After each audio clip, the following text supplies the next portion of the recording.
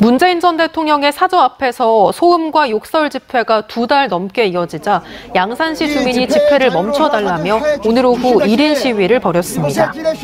오후 2시부터 3시간여 동안 평산마을에서 시민께 피해주는 집회는 즉각 멈추어라라고 적은 팻말을 목에 걸고 시위를 벌인 김운선 씨는 평산마을 주민들이 집회 피해를 고스란히 받고 있지만 항의조차 못하는 것 같아 나섰다고 밝혔습니다.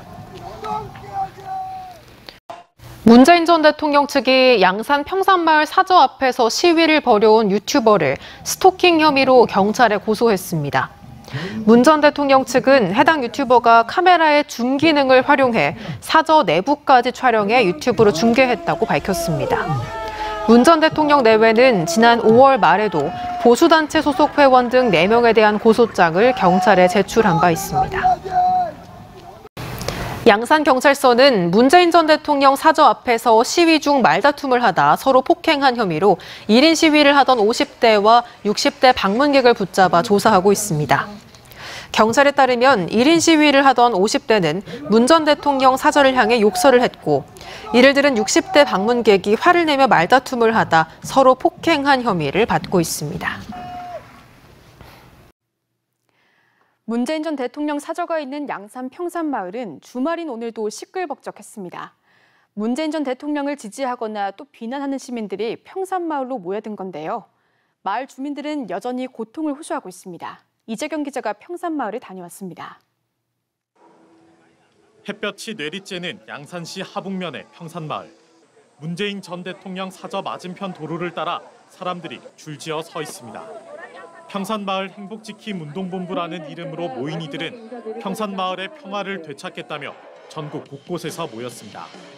이들은 문 전 대통령 내외를 지켜주겠다는 글귀가 쓰인 손팻말을 들고 문 전 대통령 사절을 바라보며 친묵 문화제를 이어갔습니다. 조용한 이 마을에 이 마을 주민들이 무슨 죄가 있어요? 대통령이 편하게 지내시면 좋겠고요.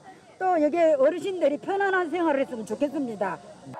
한때 김정숙 여사가 이들을 향해 파란 수건을 흔드는 모습이 취재진 카메라에 포착되기도 했습니다.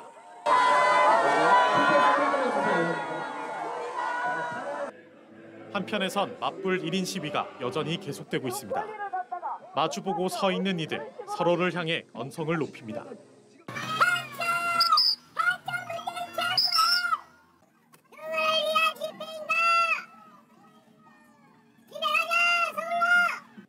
보수와 진보단체 의원들이 이곳 평산마을에 함께 모여들었지만 다행히 큰 충돌은 없었습니다.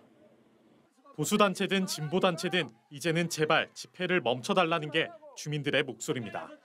이들은 이미 지쳤다고 말합니다.